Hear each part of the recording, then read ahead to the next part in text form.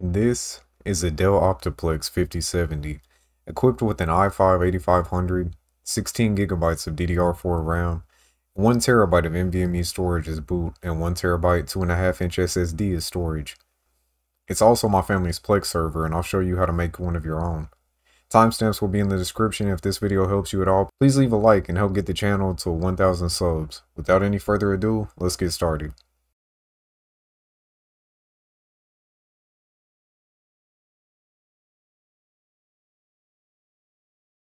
The only thing you'll need for this is some form of PC. I'm using this mini PC, but you can use an old laptop, a dedicated NAS, and so on. The main consideration when setting this up is power draw and storage. You can run this on a dedicated gaming rig, but I wouldn't recommend it as leaving something that power hungry running constantly is going to reflect on your light bill. You can also add some form of external storage add-on like this DAS, but again, take power draw into consideration as well as upkeep expenses over time. Now let's hop onto the PC and really get started. First, follow the link down below to take you to the Plex website and download the client software. Install the app, create an account, and get comfortable with the layout of the software. Then you can follow this link to get the Plex Media Server app. Of course, download and install. Once installed, at the bottom of your screen, navigate to this Plex icon. Right click and make sure this option is checked, then check for updates. Once the web page has you logged in, you can set up a directory to your library. Personally, I keep TV shows on one drive and movies on the other, but that's entirely unnecessary. Plex gives you a lot of options for customization and configuration for a variety of hardware for you to play with as you wish. Once you've made all the changes that you want, close out the browser and the Plex app. Then relaunch the Plex app, and you should be able to see everything in your library.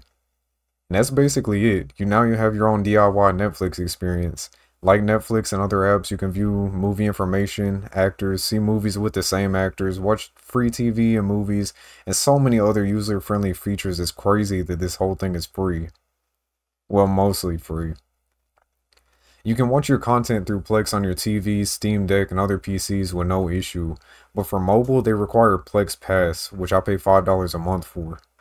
And to me, this is completely worth it. My family does a lot of traveling and we watch countless movies on trains, boats, and even planes. yeah, planes. Thanks to Plex Pass, I'm able to remotely download my media to my phone and watch it without an internet connection. So while we're passing through TSA, my phone is downloading a movie or two for the ride. And I'm clearly not sponsored, but I can't recommend Plex enough. It's been able to break us from multiple streaming service payments and allows us to have full control over what's being hosted without worrying about another company pulling our favorite movie or show from their services.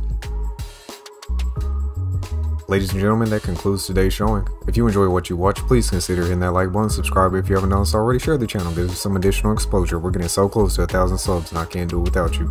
Thank you to the Techticians, the channel members, and just the long time supporters. I love you guys. Hope this helped a little bit. I'm gonna catch you in the next one.